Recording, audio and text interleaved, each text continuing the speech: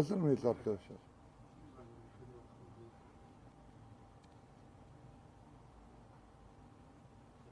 Hazır mıyız? Tamam. Değerli arkadaşlar hepinizi saygıyla selamlıyorum. Dün saat 3'te genel kurul salonuna girdik. Yasayı görüşmekle ilgili. Bu sabah saat 7'yi 10 geçe genel kuruldan çıktık.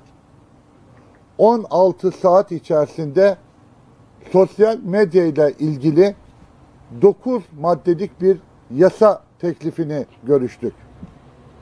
Bu yasa teklifi sosyal medya mecrasına sansür uygulayan bir yasa teklifi.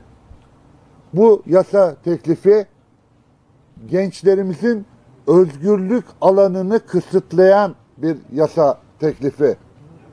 Bu yasa teklifi bu doğru değildir deyip de muhalefet etmek isteyen insanların sesini yok etmek isteyen bir yasa teklifi. Bu yasa teklifi kendi hakkını, hukukunu hakimlerin ve yargıçların karşısında dahi alamayan insanlarımızın kendi hakkını ve hukukunu milletine duyurma alanı olan ve bugüne kadar sansürlenmeyen sosyal mecradaki alanın kısıtlanması da ilgili bir kanun teklifiydi. Ve 16 saatlik bir direnişten sonra Cumhuriyet Halk Partisi'nin ve muhalefetin 16 saatlik direnişinden sonra AKP ve MHP oylarıyla yasallaşmıştır. Bundan sonra sosyal medya şirketleriyle ilgili Türkiye'de bir temsilcilik isteniyor. Biz buna karşı değiliz. Ama biz biliyoruz ki AKP iktidarı tıpkı yandaş medyaya yaptığı baskıyı uygulayabilmek için bir muhatap arıyor. Yoksa Türkiye'nin hakkını ve hukukunu savunmak için bir muhatap aramıyor. O muhatabına diyecek ki eğer sen bunları bunları yayınlarsan biz senin bant genişliğini yüzde 50 ile yüzde 90 aralığında daraltıyoruz diyecek.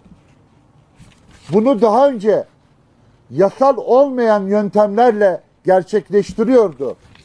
Şimdi yasaya bağlamak istedi ve bu yasayı da çıkarttı. AKP iktidarı unutma hakkını bu yasayla getiriyor. Neyi unutma hakkını? Mesela ben geçmişimle ilgili hiçbir şeyi unutmak istemiyorum. Çünkü ülkeme ihanet etmedim. Aileme ihanet etmedim. Vatanıma, milletime ihanet etmedim. Terör örgütleriyle el ele kol kola yol yürümedim. Ben bu ülkenin bir karış toprağının satılabilmesi için elimi hiç kaldırmadım. AKP iktidarı ben toplumun hafızasını silmek istiyorum diyor. Yeni kuşaklara geçmişte olan kirli dosyaların açılmasını engellemek istiyor.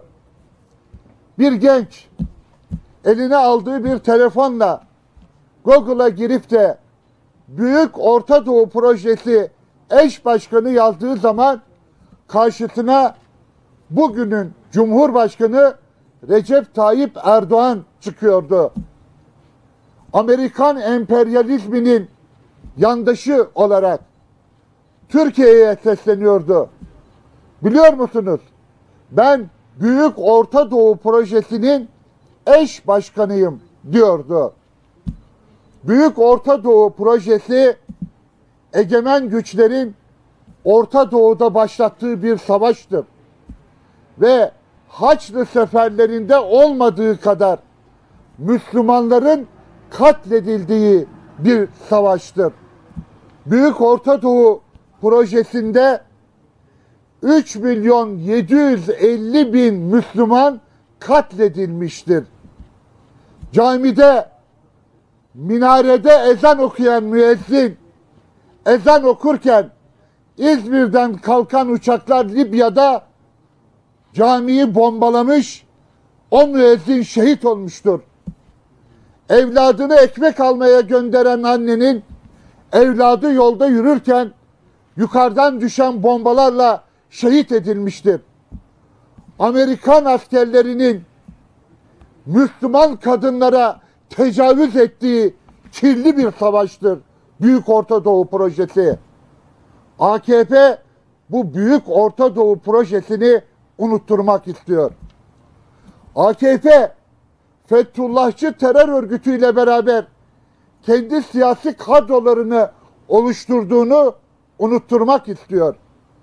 Birlikte kol kola yürüdüklerini, bütün kamuda ilmik ilmik Fethullahçı kadroları yerleştirdiğini, ordunun içerisindeki Fethullahçı generalleri atadığını ve koruduğunu, Balyoz ve Ergenekon davalarında PKK'lı Şemdin Sakın gizli tanıklığıyla bu ülkenin genel kurmay başkanını hapsettirdiğini ve darbe kalkışmasını gerçekleştiren subay ve az subayları göreve getirdiğini unutturmak istiyor. Çünkü o kalkışmada telefonun arkasına geçen Cumhurbaşkanı millete seslendi dedi ki bu Türkiye'ye karşı yapılan bir darbe kalkışmasıdır. Sokağa çıkın engelleyin dedi. Vatanı için, milleti için, bayrağı için sokağa dökülen insanlar tankların önünde ezildiler, şehit düştüler. AKP orada yaralanan ve şehit düşen aileler için toplanmış fakat tam 4 yıldan beri o ailelere verilmeyen 309 milyon bugünkü rakamla 600 milyonluk şehit parasının yardımlarını hafızadan silmek istiyor, unutturmak istiyor. Bu utancı yeni nesillere aktarılmasını istemiyor ve engellemek istiyor. İşte bu çıkan sosyal medya yasası tam da budur. Türkiye yanıp tutuşuyor. Türkiye ekonomik yönden dolar almış başını gidiyor. Euro almış başını gidiyor. İnsanlarımız fakr zaruret altında eziliyorlar. İnsanlarımız çaresizler. İnsanlarımız evlatlarına iş bulamadıkları için, kendileri iş bulamadıkları için kendilerini yakıyorlar. Ülkedeki yerli iş insanları ülkeyi terk ediyor. Dış yatırımcılar ülkeden kaçıyorlar. Onların derdi milleti susturmak. Onların derdi hafızayı silmek. Onların derdi kendilerini güvenceye alacak yasaları çıkartmak. Türkiye Büyük Millet Meclisi buradan sesleniyorum. Millete hizmet eden bir meclis olmaktan artık çıkmıştır. Türkiye Büyük Millet Meclisi AKP ve MHP oylarıyla sarayın emirlerini onayan bir noterliğe dönüşmüştür. Artık Türkiye Büyük Millet Meclisi'nde kararlar millet için değil, sarayın geleceği için alınmaktadır. Buna karşı duracak olan yine milletimizin iradesidir. Bunun karşısında olması gerekenler Türkiye'nin dinamikleridir. Milletimizin geleceğine, birliğine ve beraberliğine, milletimizin güçlü bir ekonomiyle, güçlü bir Türkiye'de var olma mücadelesini engelleyen AKP iktidarını Türkiye'nin bütün dinamikleri karşı koyarak bir an önce demokratik yöntemlerle iktidardan indirmek mecburiyetindedir. Aksi takdirde Türkiye Büyük Millet Meclisi'nin artık açık olmasının millete mi yararı var, saraya mı faydası var bilemiyoruz. Çıkan bütün yasalar maalesef Cumhuriyet Halk Partisi'nin bütün direnişlerine karşın orada yasallaşıyor. Buradan gençlere sesleniyorum. Elinizden alınmak istenen şey sizin geleceğinizdir. Gençlere seslenmek istiyorum. Aslında yok etmek istedikleri AKP iktidarının ve MHP küçük ortağının onlar sizin özgürlük alanınızı yok etmek istiyorlar. Onun için gençlerin tıpkı Mustafa Kemal Atatürk'ün söylediği gibi kendilerine emanet edilen Türkiye'yi bir avuç saray efendisi ve saray yandaşına bırakmaması gerekir. Bunun için uyanık olmalılar, zeki olmalılar, olayların farkına varmalılar ve Türkiye'yi emanet eden, kendilerine emanet eden Mustafa Kemal Atatürk'ün vasiyetine uygun davranmalılar. Değerli arkadaşlarım, konu sadece bu değil. İktidar her yöntemle aslında içine düştüğü yönetememe olayını örtbas etmek istiyor. Ayasofya meselesi.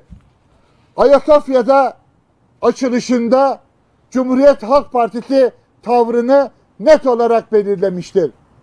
Cumhuriyet Halk Partisi bütün dinlere saygılıdır. Cumhuriyet Halk Partisi bütün dinlerin ibadethanelerine de saygılıdır. Ama Cumhuriyet Halk Partisi bu ülkede İslam'ın var olması, ezanların susmaması, Diyanetin var olması, ilahiyatın kurulması, İmam Hatip'in kurulmasının öncüsü ve önderidir. Mustafa Kemal Atatürk'le verdiği Kurtuluş Savaşı'ndan sonra bu ülkede ezan sesleri susmamıştır. Mustafa Kemal ve arkadaşlarının verdikleri mücadeleden sonra bu ülkede hangi kimlikte olursa olsun bütün insanlar kendilerini güvende hissetmişlerdir. Tıpkı geçmişimizde olduğu gibi.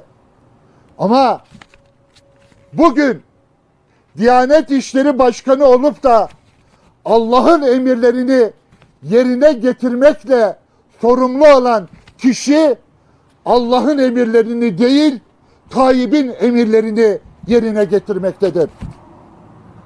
Bu kişi Diyanetin başında İslam'ı temsil eden bir kişi olmaktan çıkmıştır. Bu kişi Recep Tayyip Erdoğan'ı temsil eden bir kişiye dönüşmüştür. İlk defa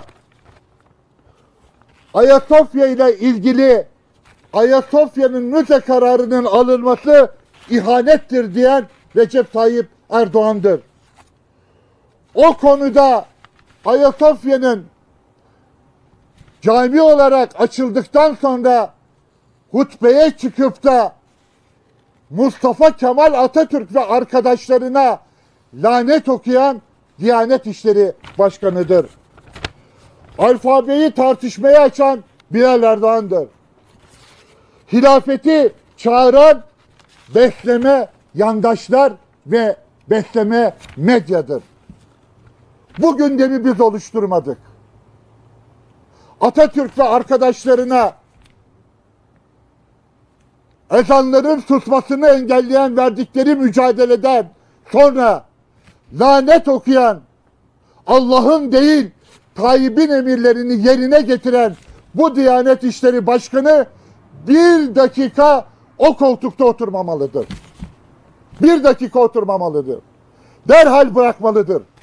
Bu kadar kendinden ve kişiliğinden taviz vermiş, ahlak kurallarını hiçe sayan, kimliğini kaybetmiş bir kişi İslam'ı temsil eden bir kişi olamaz. Lanet okuyan bir kişi İslam'ı te- temsil edemez.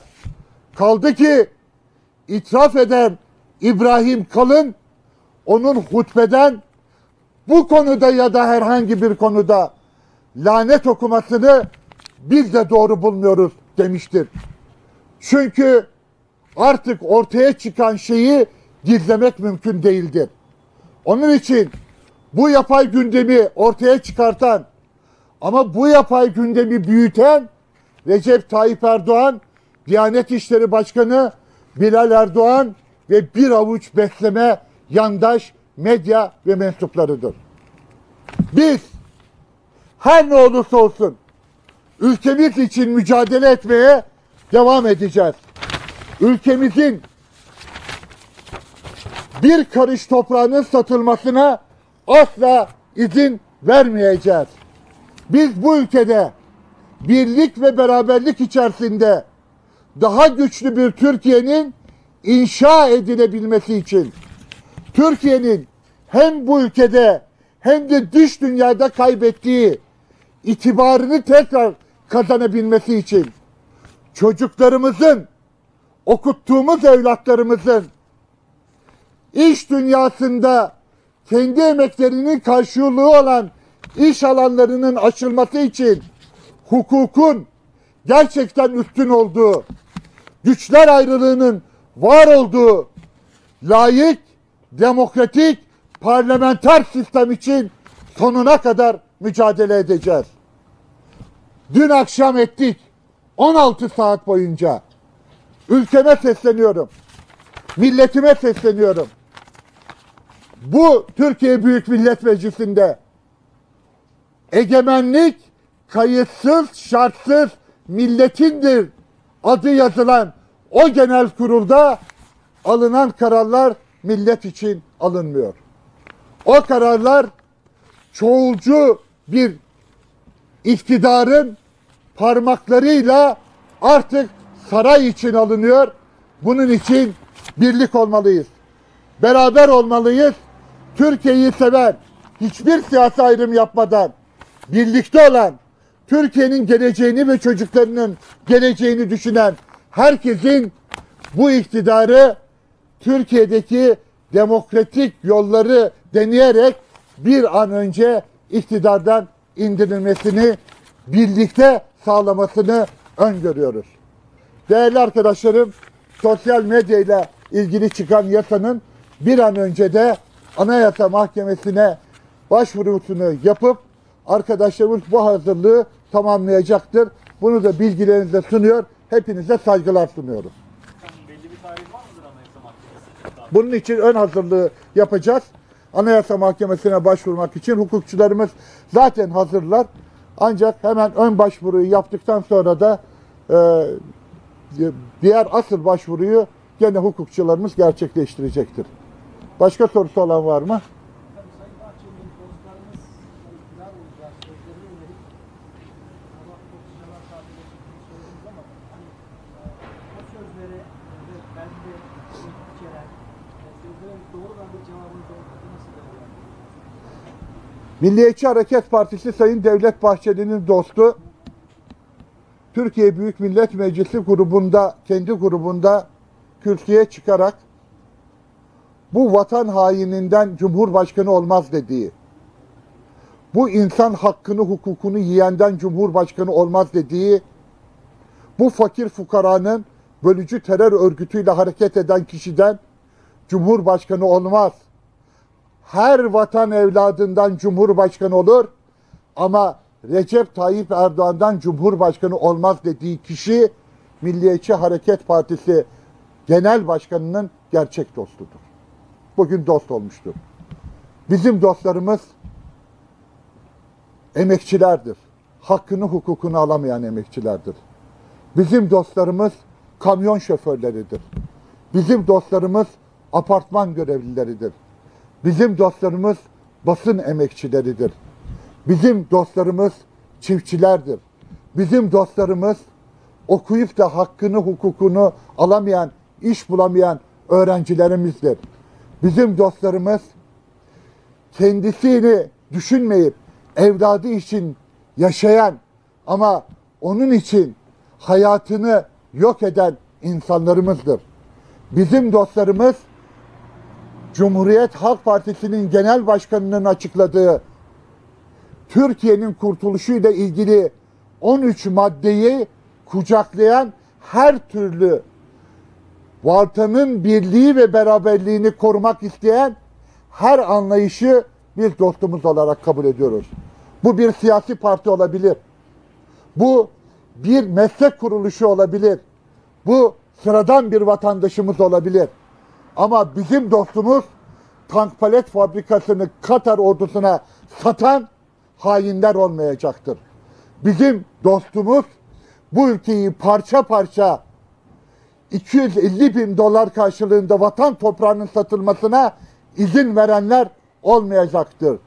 Bizim dostumuz Süleyman Şah türbesini kaçıran, onun kaçırırken de bugün terör örgütlerinde dedikleri kişilerden yardım alan insanlar olmayacaktır.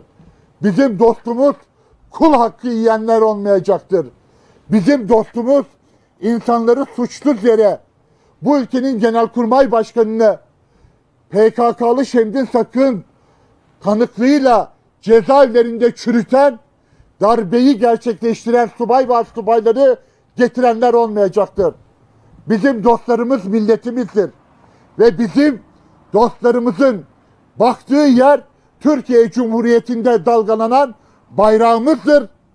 Ve yönümüz Mustafa Kemal Atatürk'ün kurduğu layık, demokratik Türkiye Cumhuriyeti'dir. Teşekkür ediyorum arkadaşlar.